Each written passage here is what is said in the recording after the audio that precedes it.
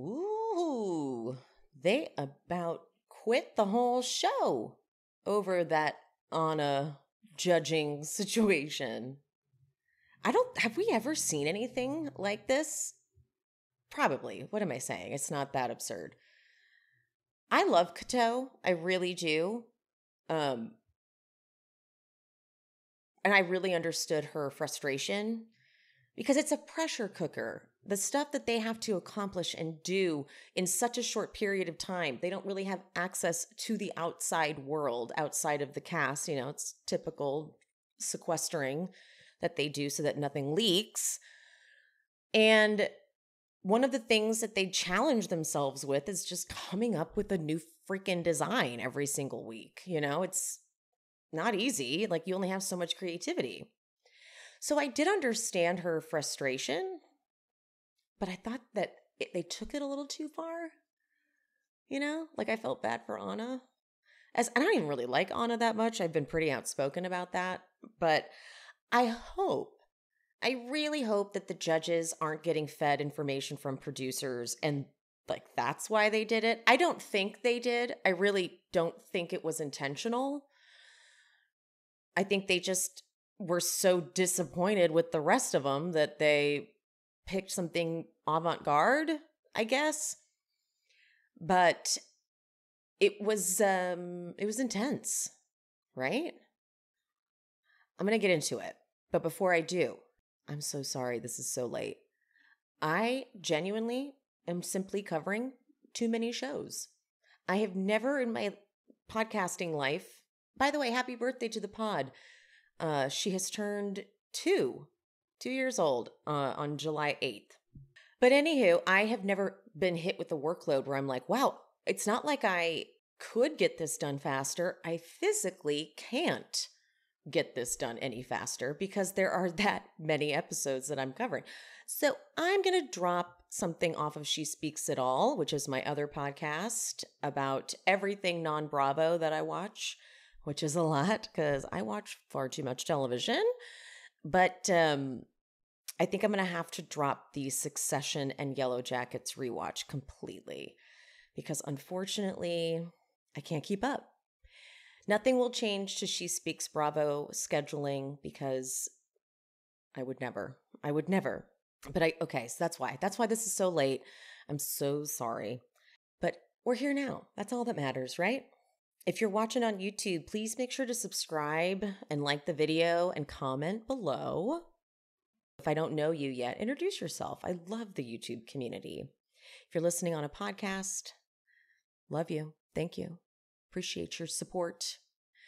If you haven't already, please rate the show five stars, give it a nice review. Really, really, really helps. But that's that. Let's let's go through this episode. This this week they were given the challenge of all of the designers had to work off of this single bolt of fabric. And the fabric was this like bright red stretch polyester. Bishme is doing a blazer and says it's a big risk. And he used he says these words: fusible interfacing knit to knit structure. Honey, okay. I love Bishme. I love him so much. During this walkthrough, Prajje is doing a suit, and Christian reminds him that Nina will eat his ass up if the fit isn't right. And that is facts. That is facts. Brittany's doing a combo of streetwear and activewear, and she's been doing activewear since her stroke. I mean, I couldn't believe when she said that. I absolute hypochondriac panic happened where I'm like, can I get a stroke? What's going to happen? So my Google history was in pure terror after seeing this because she had a clot in her brain. What? she was paralyzed on the right side of her body. I can't. I like, but she recovered, full recovery in six weeks using her Peloton. Now, now she's passionate about fitness and she even does some custom stuff for Peloton instructors. Instructors is it Peloton? Peloton, yeah. So good for her, man. I that is a wild story, and she was on an airplane when it happened, dude. Korto is doing some like basket weaving to create texture. And Christian comes over and is giving her his walkthrough shit, right? The typical stuff. And he is suggesting jewelry and styling ideas. And Korto is like, okay, honey, I got it. You could tell he's like, I don't want to deal. She's like, I don't want to talk to you about this. Christian goes, I believe in you. And Korto goes, Me too. She's not here for Christian. Kayne is doing a dress for, quote, an everyday woman. And thank God Christian came around and was like, that is not the challenge. What do you do better than anyone? Evening. Be who you are. Bishme's he's doing the the faces in the design and Christian is loving it. And I love their dynamic. I really do. But then there's Anna, and she's literally creating the exact same ruffle thing we saw at the unconventional challenge. But I mean literally the exact same. So it was it was like she wanted to go home. And honestly, at this point she should, because she's homesick for her baby. But that's that's for later. Kara Saun is super behind. Um, her sketch is even naked. Christian's like, get into the sewing room and do not come out until you have something. It is a one day challenge. One. Fabio's doing his jumpsuit. And man, oh man, does Christian try his hardest to tell him this looks a little safe. And Fabio argues, which is kind of fair, that this is his style. And Christian, he's he's trying. He's trying every which direction. He's like, is there something more interesting you could do with the pant?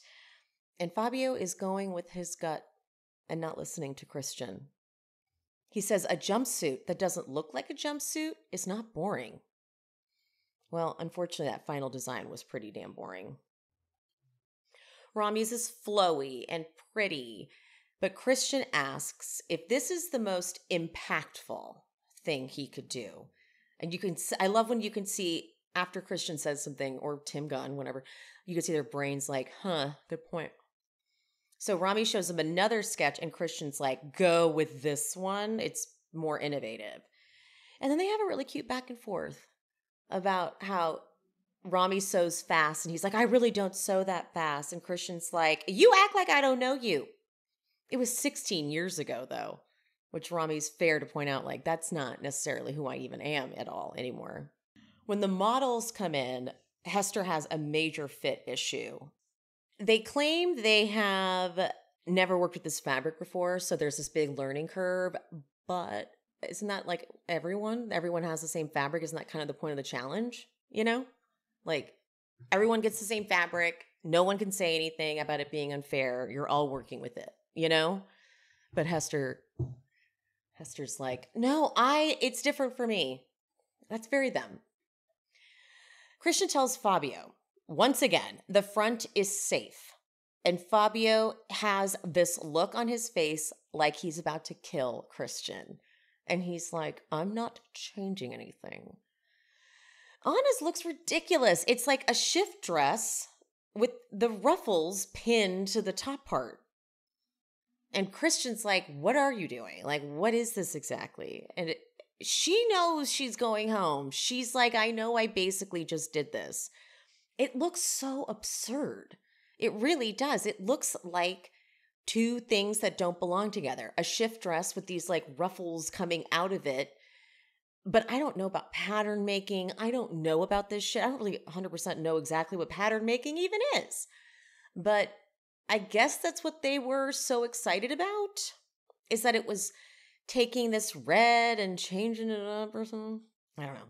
This is cute because Christian gets to take them shopping. They use it as a plug to promote um, the 2% cashback Wells Fargo card, but hey, that was that was cool that they got to go shopping. Anna stays making her ruffle dress, and I was, I, of course, I'm acting like I'm the only one who noticed it was the same thing, but they saved all of the other clips from the designers being like, that is the same damn dress she did for a little bit later in the episode. And finally, it's like Kayne and Korto, they're like, didn't you? She made this dress. So they're like, honey, this, you're going to get in trouble. Fabio looks around at one point and realizes, I'm not the only one doing draping.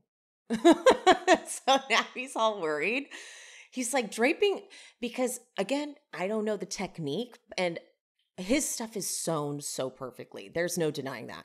But he is that's his thing. His thing is this perfect draping, but kind of so is Rami's. But he's like, everyone else is doing it because it's an emergency. I'm doing it intentionally. And I was like, oh, Christian tried to warn you, honey. And I love Fabio so much. But I mean, the red is hard. If you're, if Fabio doesn't really work like that in that kind of color. So he was like, I wonder how this would have looked not in red, not in one big red piece, you know? If it was one of his things that he could put different fabrics on and stuff and play with it more, it might have you might have seen the dimension on it, you know? Anyway, I'll get into next day workroom in just a sec. Right now it's time for us to take a little break and I'll be back. All right, next day workroom. It, it, again, I have no idea how they do this. I don't know how they put anything on the runway. However, suddenly when someone's like not prepared and doesn't have something done by the runway, I'm like, oh my God, get it together. Like the thought of them doing it at first, I'm like, it's impossible. But then somehow I become like one of the bitchiest people, like the toughest judges. Well, they could do it. Why couldn't you? Like I get very, you know. So Hester's panicking because the fit is not right. Anna's model is helping her trim the ruffles. Now that's teamwork right there. Kara Saun is is so fucking short. this is my favorite. Is she adds a hem, but the hem is like barely an inch. so it doesn't even do anything, but she was totally able to get that hem on there. Like she fucking did that shit, man. But it was it didn't make any difference. So instead of her having this big reveal moment, she she scratches it. Like no, because truly this her cooter is hanging out. Prajje's model has her butt out too, but I think it's it ends up being covered with something. Runway time. Guest judge is Lena motherfucking Waithe. Okay. Okay. Sick. Love. Love that Elaine is her friend. I love it. Obsessed. Obsessed. Brittany's comes down that runway and I'm like, yes, bitch. Love it. And I couldn't tell exactly like why it looks so good, but when they eventually talk to her, I love that they point out like you did the white stitching. What do they call it? Over stitching or something? I wrote it down. Um top stitching in the white. So it created dimension to the dress and she was just like I was worried that you guys were going to be like this is a red challenge but she did it perfectly. She didn't use any different fabric. She simply used a white knit because she thought, hey, this doesn't look good all one freaking color. So brilliant. It was it was cool. It was kind of strappy and sexy, and then also hardcore, like rock and roll with the buttons in the front. Like, oh my god, she's talented. Prajje's is pretty, but kind of boring. I loved Korto's. I loved Korto's. I thought it was um also a little not safe but just like a little simple it was the basket weave jacket with the long flowy skirt beautifully fit though oh my god even the skirt like it was just it fit her like liquid it looks so good but then Fabio's drapey jumpsuit. It's not bad. Lena, I think, liked it. I think that's the vibe Lena was giving off on the runway. But it was just like, I couldn't tell what it was supposed to be. You know, like I was looking at it like, Oh, I get what he was saying about it. it's not a jumpsuit, but it is a jumpsuit. But I'm like, but it does just look like a jumpsuit that you're putting that you put more fabric over. You know what I mean? It wasn't quite where he wanted it to go, I think. Again, it was probably because it was all this one color, you know? Anna's comes down, and this happens to me all the time where I love a design and then they're like, or I hate a design and they're like, this isn't the top. So I, my instinct was, what is this? To me, it didn't look creative to me, it looked like she put a shift dress together and did exactly what she did in a couple challenges prior. So that's exactly what it was. It was absurd that this ended up in the top to me. Kara Saun's is just short. So even though the model had the top part over it, I was still staring to see if I was going to get a cooter shot. So I got distracted and it wasn't until they they brought Kara Saun out with her model and went through it that I was like, oh wait, no, this is hot. But I was just so panicked about about it being that short. But it was, it was, it was cool. It was really cool. Hester's looks like festival wear. It looks like you would go to a club and rock rock out in it. It's not bad. It's just what Hester's style is, you know? Laurence admits she's like so cheeky in her um confessional. She's she's like, I think I'm safe, but uh, you know, it's not technically the hardest thing I've done. Meaning like this is a little bit of an easy route, a little safe route. She straight up admits it. I don't think Laurence really respects this this uh challenge or this season even. I think she thought she was just going to show up and make it to the the finale and present a line of clothes. But you got to get there, Laurence. you got to put some effort in. I respect it though, man. She's like she's so damn cool about everything in real life too. If you missed it last week or the week before, I talked about um how I actually worked with Laurent very briefly. She just needed a bartending job, and uh, the woman that was the GM and I was her AGM, Melina. Shout out Melina, stunning, gorgeous woman. She actually was at the uh, Project Runway filming when Laurence was on originally. So if you go back and watch Laurence's season, you'll see Melina with the big, gorgeous, curly blonde hair. Um, and Laurence is just this cool and down to earth. She's in no way mean. There's nothing mean about Laurence. She can come off that way and I see why, but when you when you have her around you, she's warm, believe it or not. She's just super like boundaries up everywhere and she's not moving them. You know? So you kind of respect it. As where me, I have no boundaries and then I'm like, oh, "Why did you violate my boundaries?" You know, like I don't have it down. Kayne's is a beautiful gown, but I think I see skin peeking out where it's not supposed like I couldn't quite tell what I was looking at. Um, but it's still beautiful. But here's the worst part. They flash to the judges and Brandon says to Nina, I don't even know what to think. And Nina says, I'll tell you what I think. It's alarming. Oh my god. It's like there are a bunch of a bunch of kids in a class all about to get in trouble. Rami's zipper dress comes out next and I was like, "Oh no." It just this woman it made her look it was just one of the most unflattering pieces of clothing. The way the zipper kind of pulls the fabric, like it it it's not fluid, which is I think what he was going for, but he was like trying to be kind of edgy and add a different thing to it, but it wasn't executed right. Lena will say later, like, the zipper isn't big enough. So, like, you can't even tell it's a zipper. It just looks like thick lining that's sort of taking the, oops, that's sort of taking the um, uh, silhouette to a place that maybe you don't really want it to go. Bishme's is super cool with those faces. Super freaking cool. So, but anyway, they end the runway, and Nina goes, Guess you all turned into drapers and minimalists. And Fabio's face is like, Are you fucking talking to me? That's my thing. Okay. I invented it. I'm just kidding. He's not thinking that, but he does get, he is pissed. And of course, everyone has like their head hung in shame, like, oh shit, we're about to get chewed out. And I was, I thought it was a little fucking rude, Nina. These, like, they put these people through one day challenges. It's not like, it's not like they're given something like, here, take this design and change it. It's come up with the whole design using fabric you really would never use and do it in one day. Like they're so not, they're never easy on these people. They're never like, wow, if everyone, it's kind of like it should be, um, like how if you take a test and everyone does bad, there's a learn it, there's a curve, grading curve. I feel like they should be like, wow, okay, this clearly was a little bit hard because we barely got any good looks out of it. You know, they it should be like on them. Okay. I'm a little annoyed. High score. Brittany. Loved it. Loved it. They loved the top stitching, like I said, and they loved the pants with the button front, and I love it. It's fabulous. Love. Low score. Rami.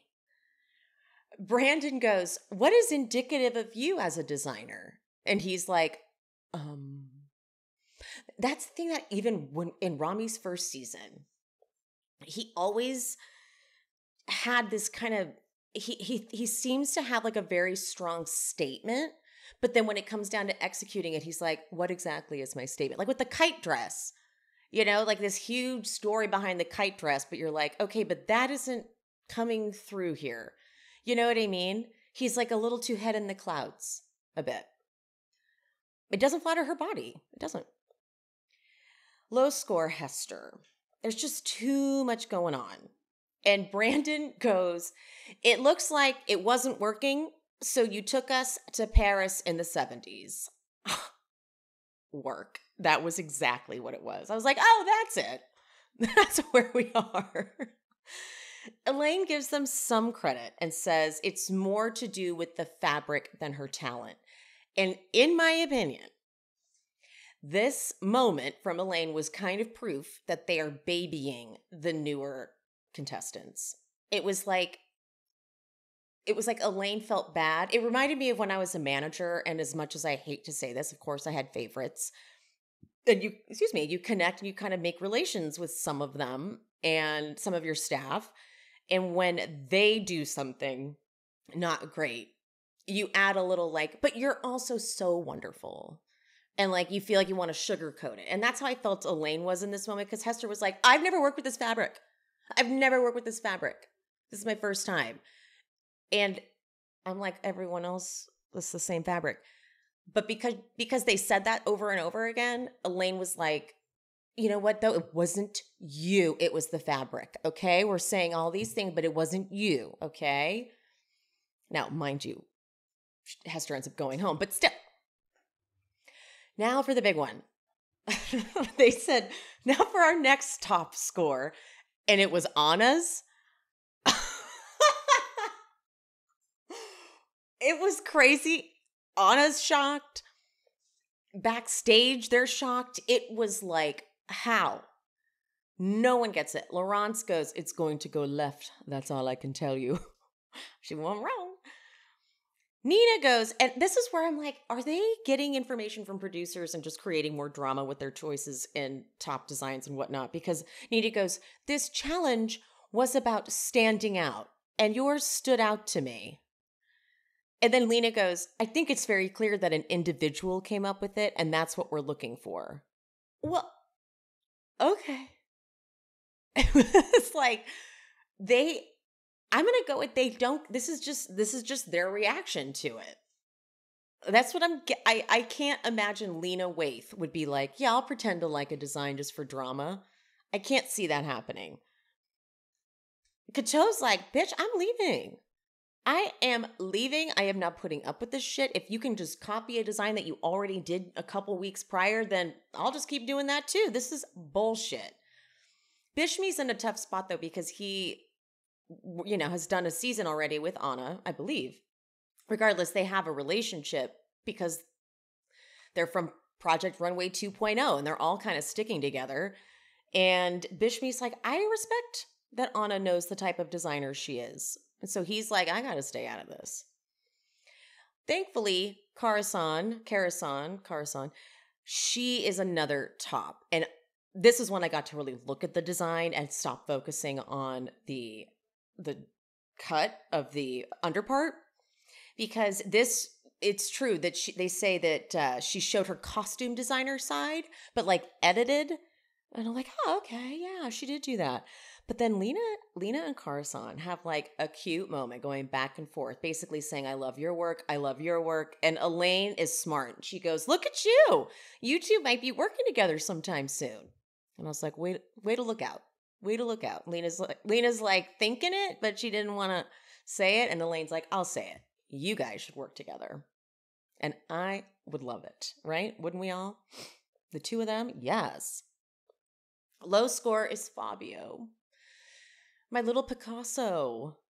I call him that because I swear the way he dresses makes me feel like that's how Pablo Picasso would dress. I don't know why. He's just everything's so oversized and big. It's kind of like a painting. It's like an artiste. I expect him to have one of those, what do they call those, like paint boards just with him at all time, you know, like painting. That's how I that's how Fabio looks in my head. But he starts off and I love it. He goes, "I'm distraught. I'm a draper and a minimalist, so the draping comments were it felt like they were directed at me.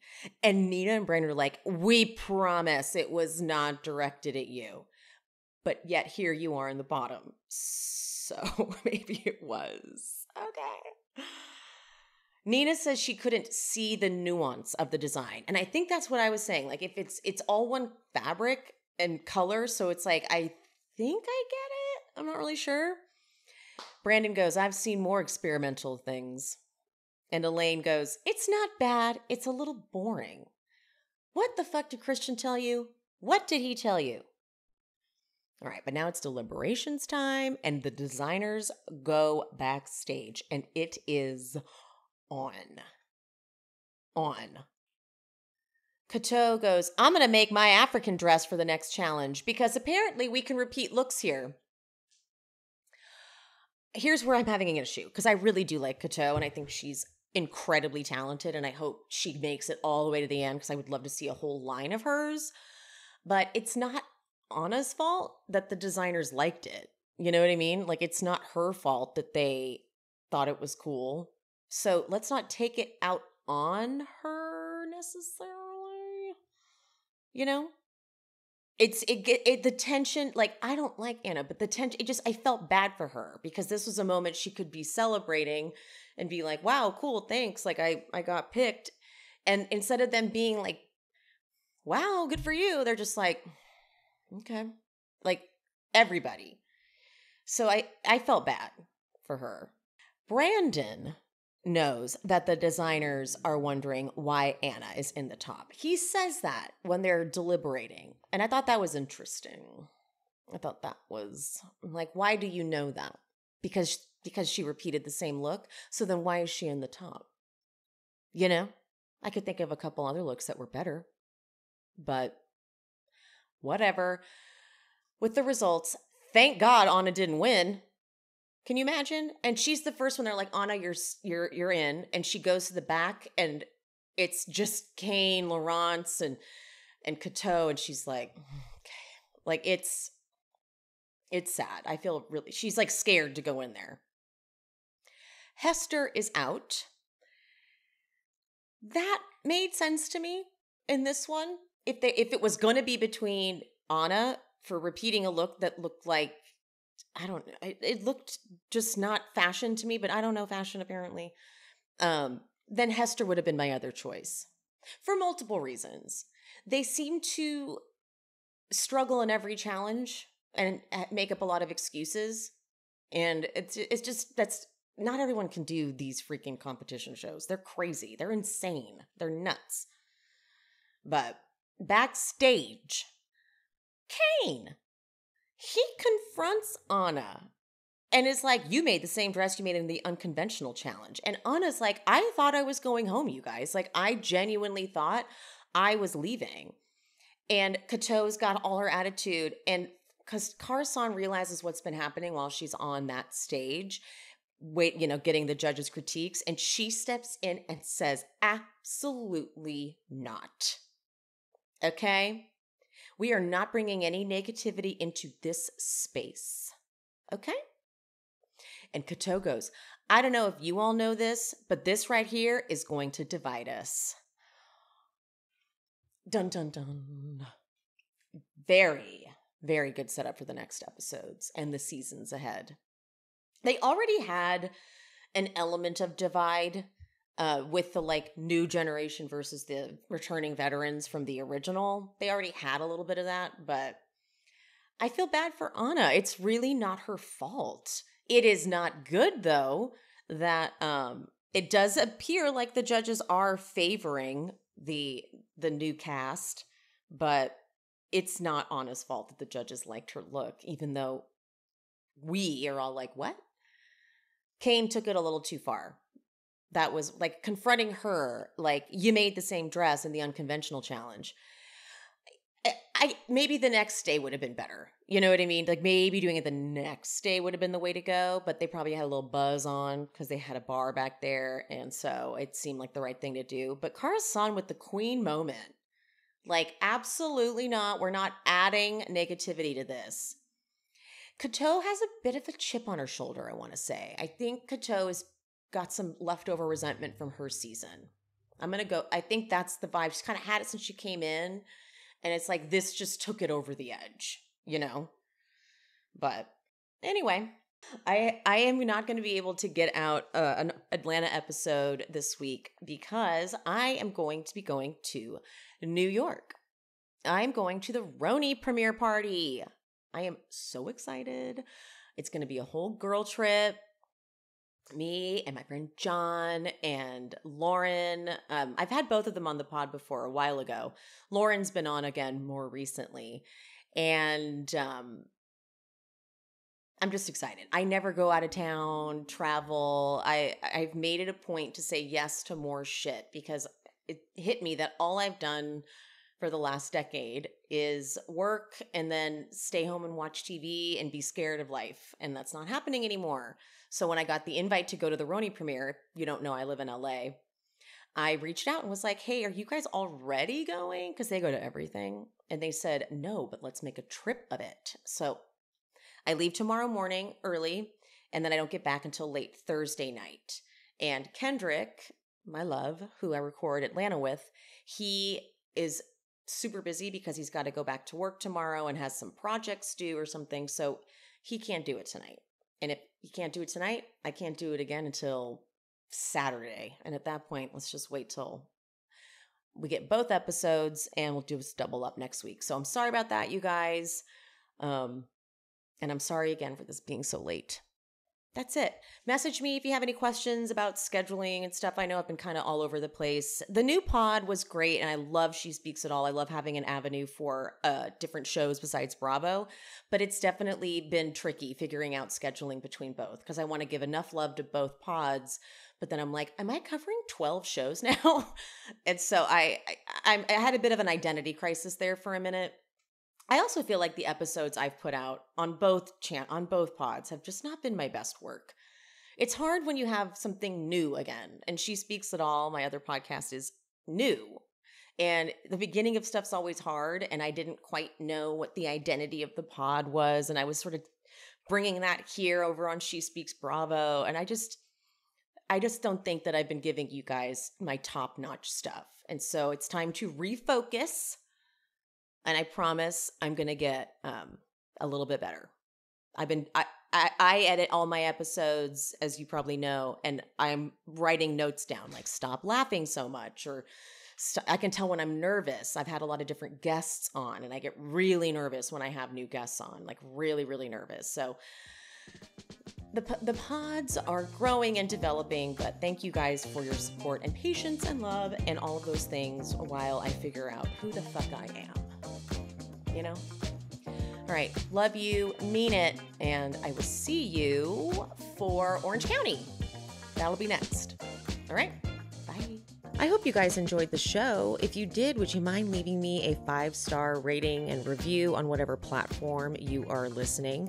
If you're watching on YouTube, don't forget there's the super thanks option down at the bottom, the little button with the dollar sign and the heart. And also, I'm on buymeacoffee.com slash she speaks bravo if you want to buy me a little coffee or two or five. And my Patreon, that is where I'm covering all of the classic Bravo jams. If you want to follow me over there and subscribe, link is in the description. And follow me on Instagram and TikTok at She Speaks Bravo. And whoever the guest was for today, all their information is always in the episode description. So if you want to follow them and check them out, check there for the info. And any of the sponsor codes that I mentioned in this episode will also be in the description. I love you guys. Thank you so much. I appreciate you. And I'll see you next time. Bye.